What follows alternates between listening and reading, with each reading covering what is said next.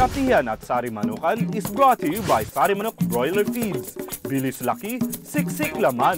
For a feed company like Yunaco, ang gumagawa ng Sari Manok Poultry Feeds, malaking bagay ang gampanin ng research and development o R&D para tuloy-tuloy ang improvement ng mga produkto upang sumabay sa mga global trends para mas lalong maging competitive sa industriyang ito. Nariyan ang teknolohiya sa kung paano mapapabuti ang performance ng iba't ibang poultry species, kasama ang broiler, layer, duck, and quail optimally ayon sa breed o genetic makeup nito. Nariyan din ang teknolohiya sa kung paano mapapababa ang cost of production. Kasama ang feeds dito sa pamamagitan ng paggamit ng sangkap o raw materials na mas kapaki-pakinabang.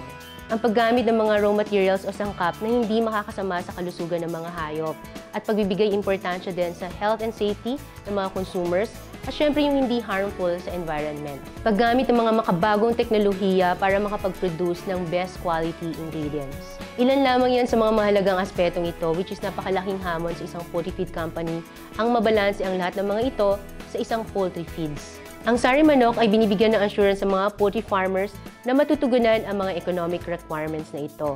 Ang partnership ng Sari Manok at DSM Nutritional Products ay patunay na tuloy-tuloy ang research and development o R&D ng mga produkto upang makapag-produce ng competitive poultry product sa competitive poultry farmer.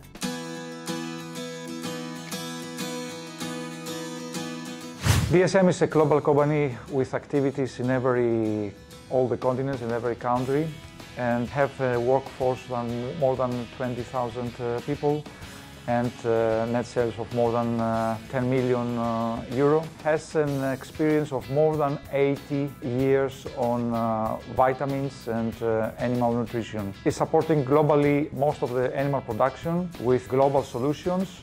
DSM is offering in in Philippines the global solutions to UNACO feeds uh, and uh, implement uh, these global solutions in the local Philippine situation and challenges that the poultry production is facing.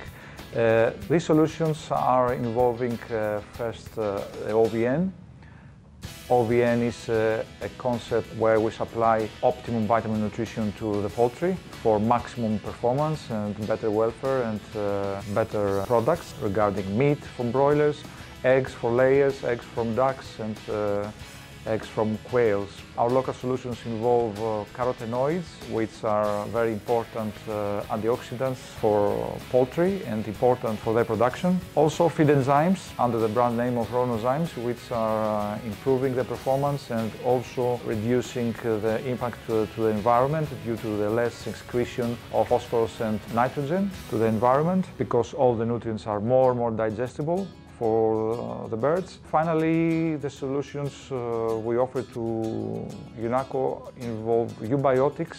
This is uh, a range of products that DSM offers to poultry production, which are the alternative uh, solution for uh, antibiotic-free uh, poultry production. Napakagandang pagbabahagi ni Costas ng contribution ng DSM Nutritional Products sa Sari Manok Poultry Feeds At sa inyo po mga kasarimanukan, tinatanggap namin ang hamon ng tuloy-tuloy na research and development para sa improvement ng aming produkto at serbisyo. Doc po, maraming salamat.